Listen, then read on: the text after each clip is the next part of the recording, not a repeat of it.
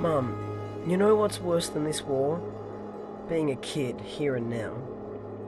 I know you think it's crucial to make sure I'm safe and not hungry, but there's something no less important than that. It's the right to know what's going on. You're hiding your fear from me, and worse, you're hiding the truth. I see everything. I understand complicated things. I see reality.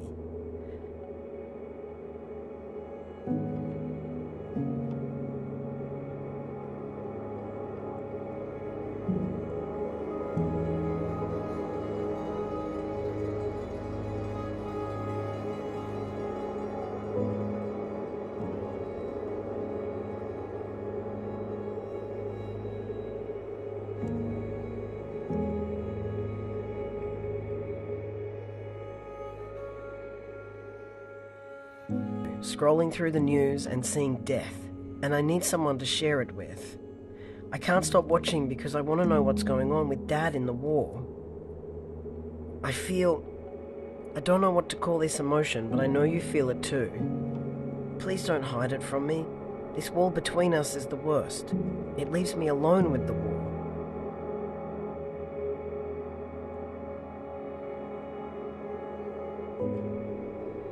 You can limit my time on the internet and access to social media, but if you take my phone away from me by force, I'll find another way to get the news. Encourage me to spend time with my friends and use other coping skills like art or music. Help me find things I can do to channel my worry into actions like volunteering or raising money. Don't just shut me off from the world.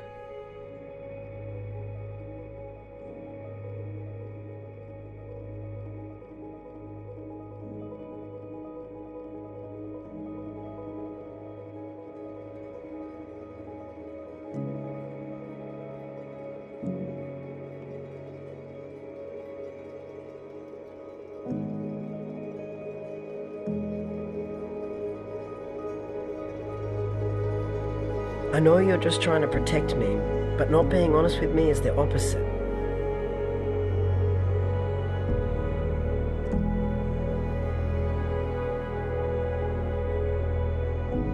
Remember how we went to the sea with Dad? He taught me to hold my breath and dive deep enough to see all the beauty of the complicated world underwater. You told me then, don't let go of his hand. But I did let go because I felt he was near. I trusted him.